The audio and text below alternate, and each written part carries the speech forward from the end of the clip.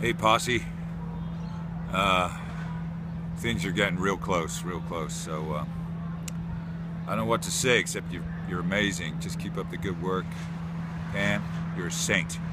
I love you guys, and uh, I got a good feeling. See you later.